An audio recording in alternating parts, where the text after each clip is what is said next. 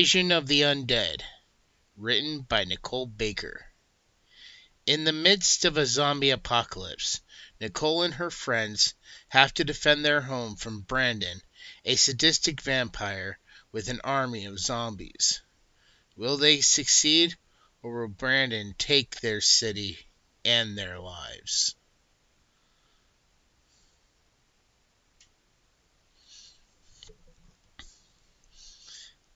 Hello, and welcome back to an audiobook review.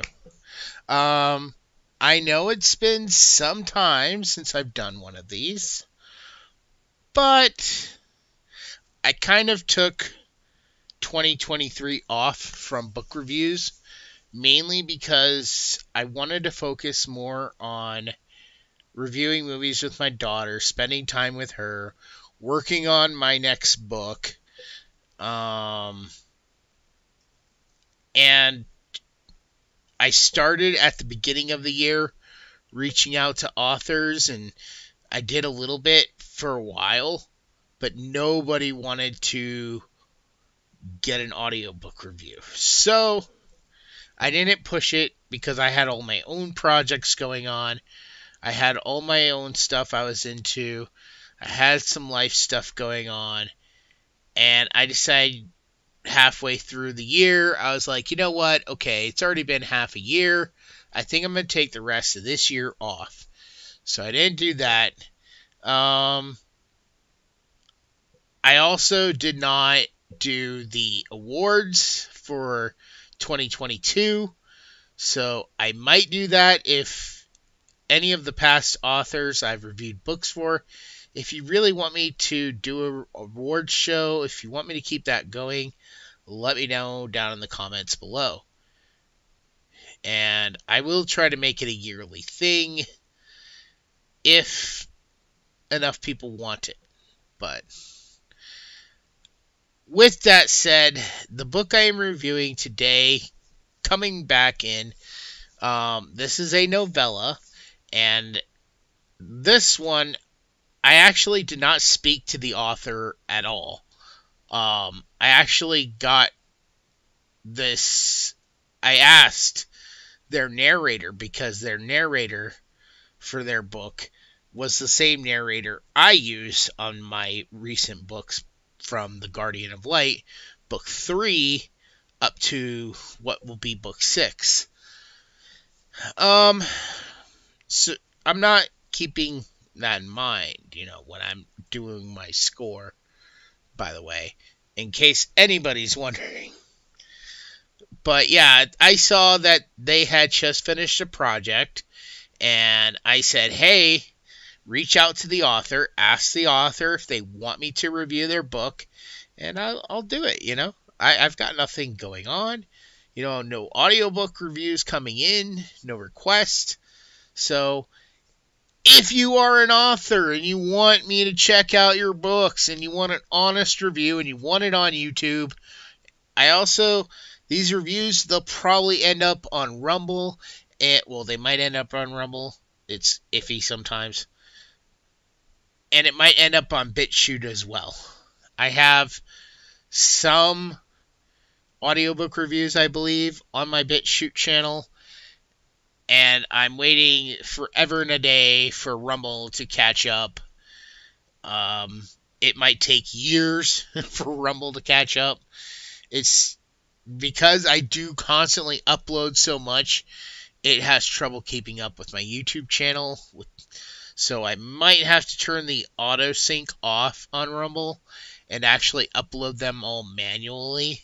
But alas, we'll just have to wait and see. Um. So yes, if you have not, and audiobooks or books in general, if you like getting reviews, then definitely consider subscribing today. And with that, let's go ahead and jump in to this review for Invasion of the Undead by Nicole Baker.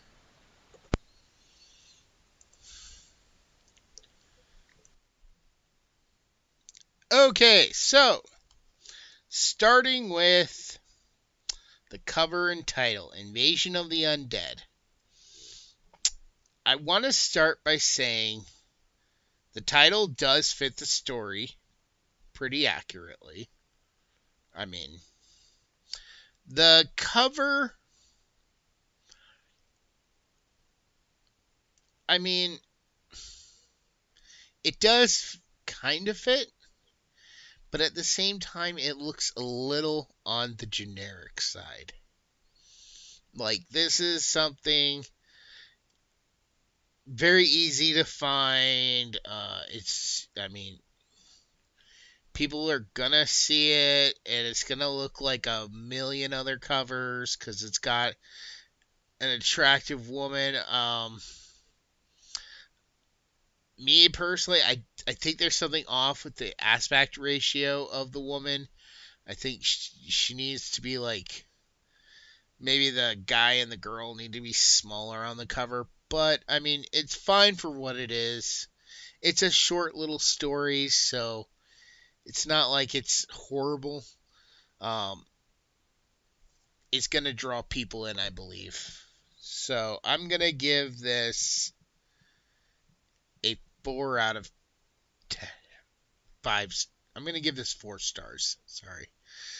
Four stars for the t- cover and title.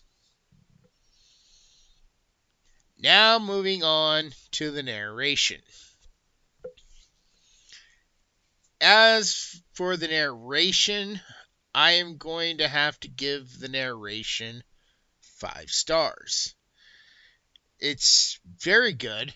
Um, it does have a male and female narrator, which I'll probably bring up again later, but um, they work well off each other and they read the story very clearly and can do several different voices.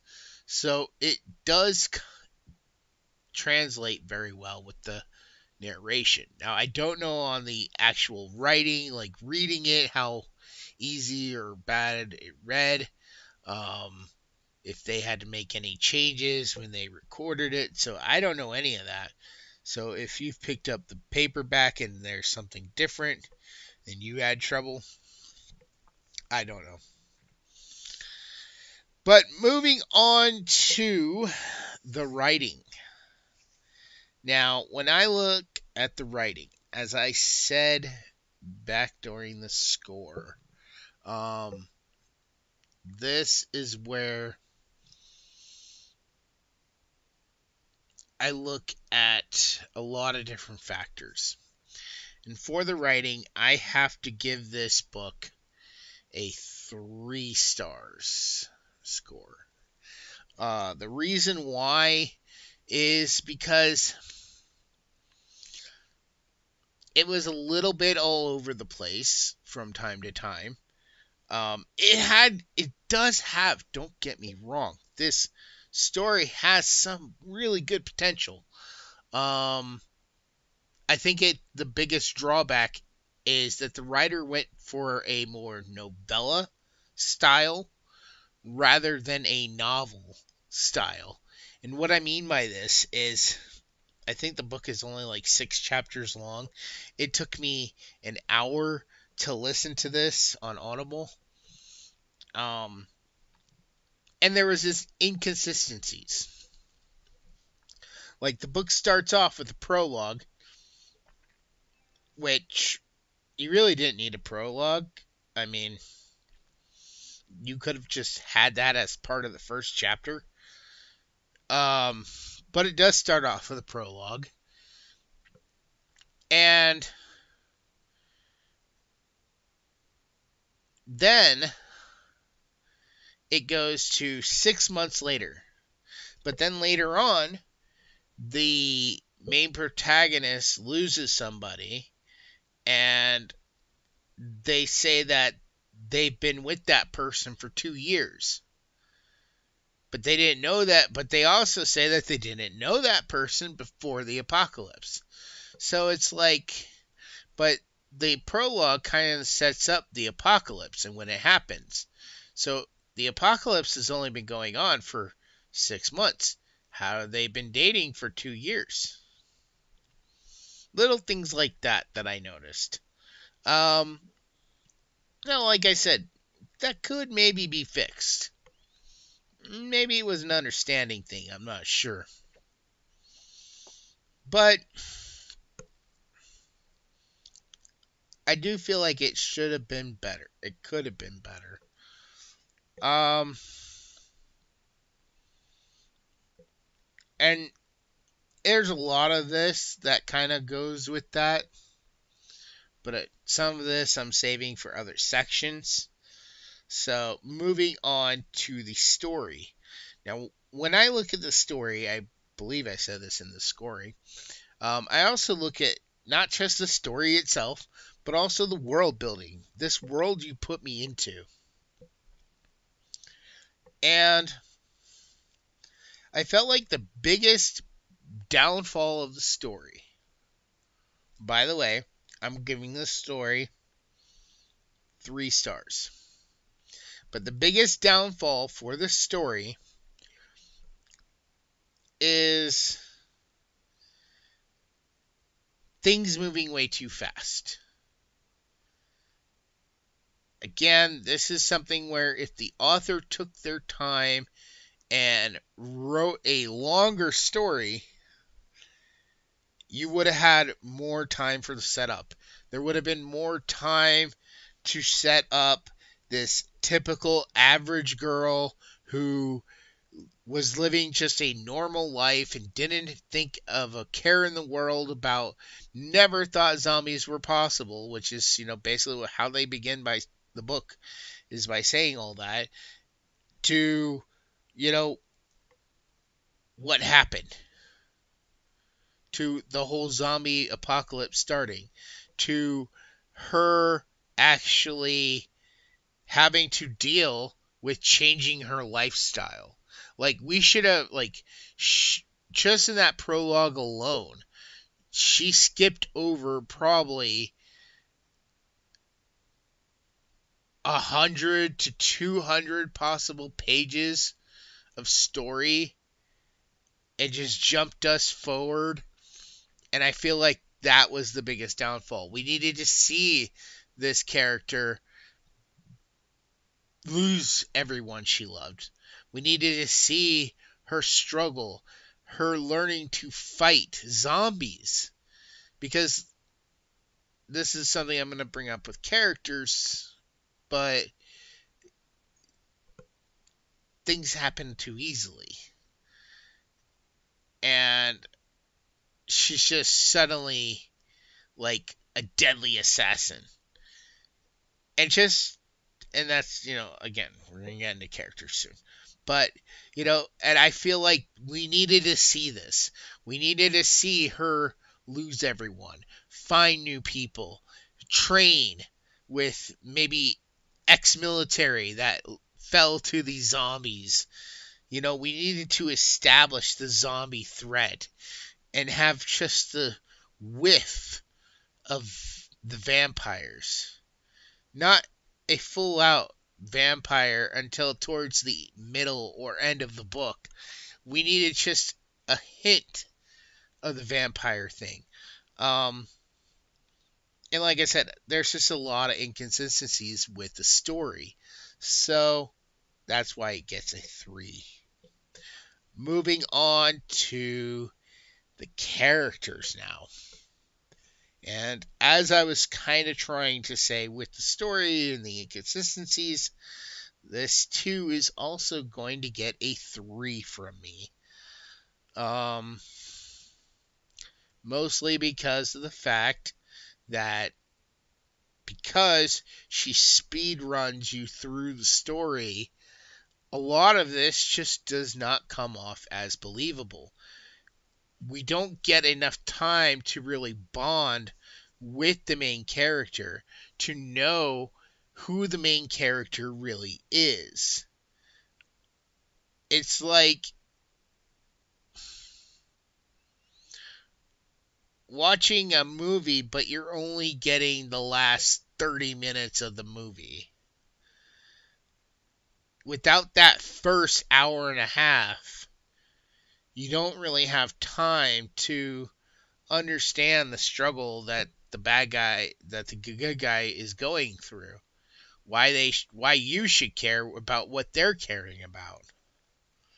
Um, i had a conversation with a friend of mine once and we were watching that demon slayer anime movie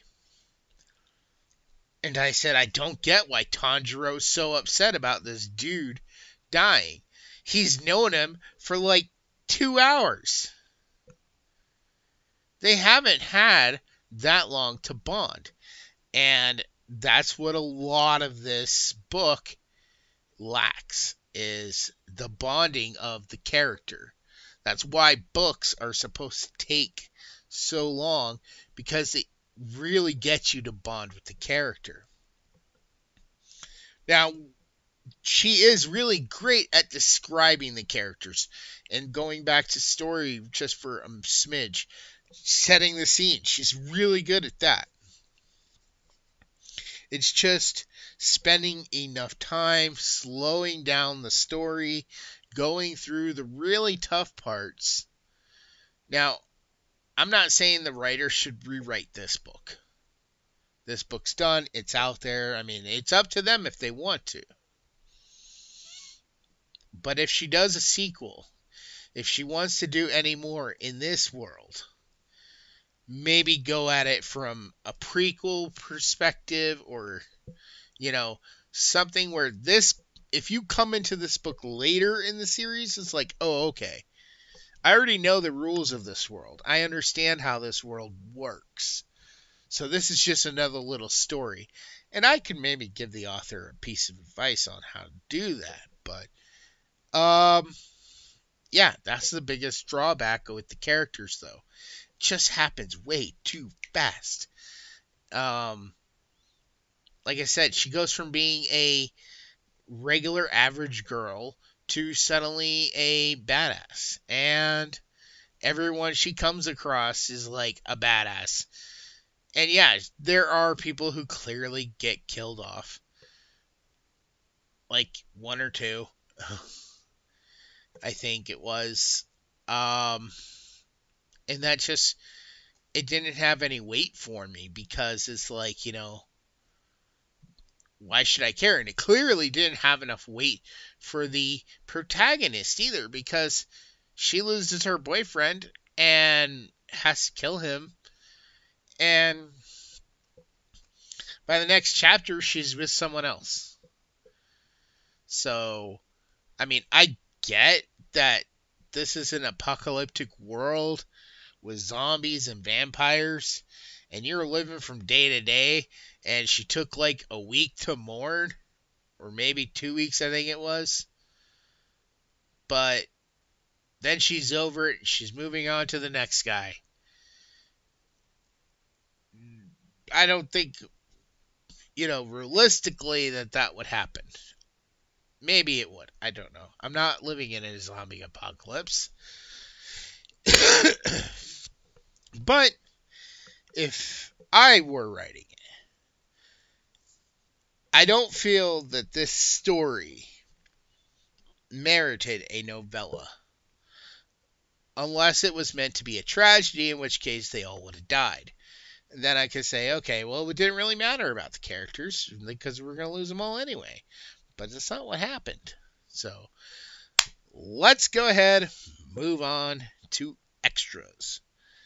Uh, there is a pr- epilogue.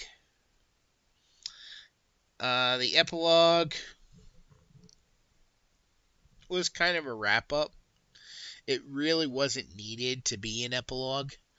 Um, and it kind of ends the it ends it like it's ending the series for good. Like it's saying, okay, I'm done with this. I'm moving on. I'm not sure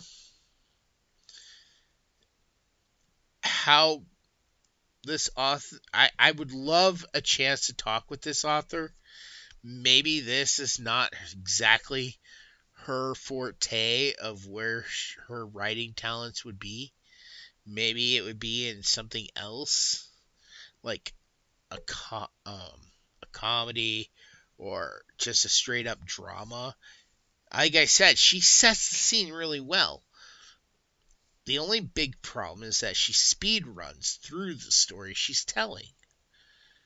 And this, a fantasy world, is a world where you need to develop. You need to really dive into what's going on. You know, I do that with my own book series, The Guardian of Light. Um, I've actually had people say, "Well, why didn't you just write one and see how it did?" It's like because I already knew I wanted to write a lot. I had an entire world of stuff I was building up to, and I wasn't going to be able to fit it all into the first book. So I wanted to just keep writing. If people don't read my books, whatever. But at least I got it out of my head. It's on the page, it's formatted out, the world is built. And I'm expanding that world more and more and more. Like, okay, so originally my books were going to be like seven books, and then I dropped it down to six, and now it's going to be 12 not all probably the same. Like it's gonna have arcs, like an anime or a manga. Um, but yeah, I mean the main the main story is gonna end with book six, and then a new story with the same characters will begin, and they'll be going on a new adventure. They'll be doing a new thing. Um, but we're talking about extras, not about my books. Sorry. got a plug. Um, the author does use two narrators, which is something I really enjoy. Um, and that's it, pretty much it for extras. So I'm going to take a quick break. When we come back, I'll reveal the final score and give my final thoughts. See you all in a minute. Bye. For thousands of years, the world has been protected by the Guardian of Light, or as he is more commonly known, Santa Claus. Over the centuries, factors such as fear and prejudice, greed and jealousy, misunderstandings, betrayal and war have segregated most humans from the magical world of elves, fairies, wizards, and the like. This has resulted in many misconceptions and generalizations of the true nature of Santa and his world. This six book series by Shaun Connaughton begins as the current of a long series of Guardians is murdered by a group of monstrous enemies recently escaped from an enchanted South Pole prison. These creatures are loyal to the darkness, an evil force determined to exterminate the light in order to enslave all creatures of the world. Shane Connor, an average young man, suddenly finds himself being trained as the new Guardian. As he adapts to his new life among fantastic creatures, he goes on an adventurous quest with a legendary wizard for the ultimate weapon to use against the darkness, and faces murderous enemies like Rasputin, Morgana Le Fay, Krampus, and many more. Along with his best friend Joe Gomez, Shane encounters politics, history, mysterious murders, new loves, his own hidden past, and racial dynamics among the fantasy races that turn out to be all too real. Their adventures reveal the true nature of the world and challenge the current state of how all races interact. This series expertly melds myths, legends, history, faiths, folklore, and secret societies into a fascinating, cohesive, comprehensive world of wonder and magic. From Atlantis to Olympus, from Hades to the moon, and from broomstick races to Christmas deadlines, join the new Santa Claus on his amazing journey. But beware! Will Shane's quest achieve his ultimate goal of destroying the darkness and preserving the light of the world? Or is he actually playing right into a plot by dark forces that will result in his, and our, ultimate doom? So make your list and check it twice for the Guardian of Light book series. Download your audiobook or ebook today from Audible, Amazon, or iTunes.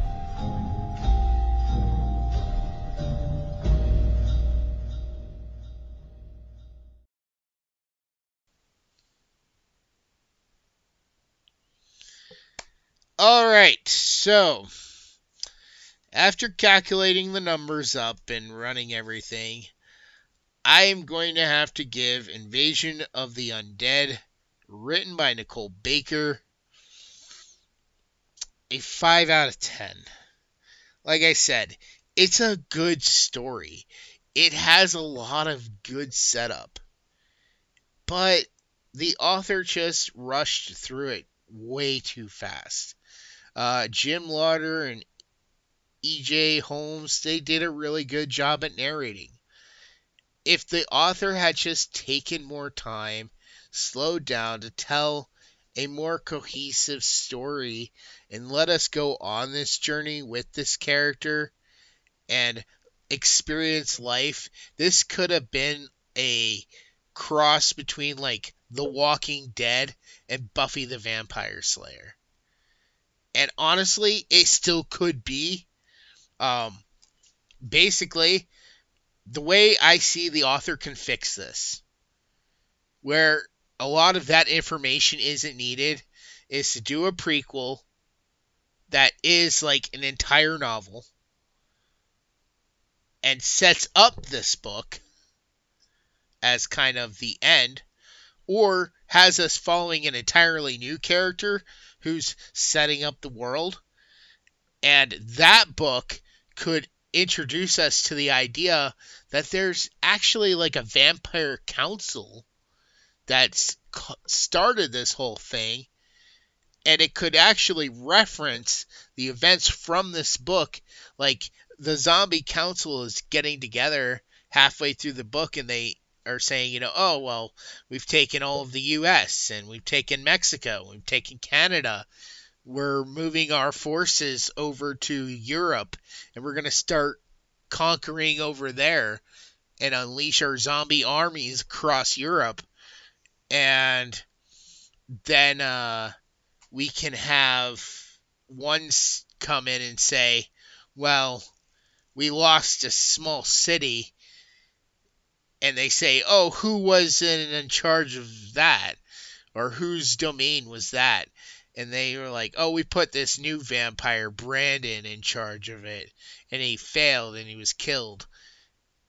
That was could reference this book, just that alone, and then the author could do so much more with this world. She could take time to explore a whole new character to do a whole new type of story with this. That is my personal thoughts on how she can fix so that this really won't matter to her. Where, but it's not my story. This is her story. I'm just saying what I think. But that's all. And with that said, I did enjoy this. I wish I could have enjoyed it more. It, that's why it got a 5 out of 10 for me, though. Um, I hope this doesn't discourage anyone from possibly thinking of letting me review more books in the future. If she uh, reaches out to me herself and wants to talk, hey, I'd love to talk with her. If uh, she wants me to do future books reviews for her, I'd love to do that too. And if any other authors are listening to this or watching, um, message me. I'm on Facebook. Uh, I'll put my Facebook account down in the description below. So if you are an author and you want your audiobook reviewed, you can do that. If you're a reader and you want to read a really good book, um, you can check out my books, The Guardian of Light. Books 1 through 5 are available right now. It really would help out me uh, and the channel a lot. And if you want to check out this book, that'd be great too. I'm sure the author would love all the feedback they can get. So, with that said, I'm going to go ahead and end this video, and I will see you all next time I do a review for an audiobook, which I don't know when that's going to be. But you can always also catch me and my daughter on our D&D movie time episodes. We should have one coming out this Friday. Took a little bit of time off for editing, but we should have getting getting back to the Lord of the Rings reviews coming next Friday. So, all right. See you all then. Bye.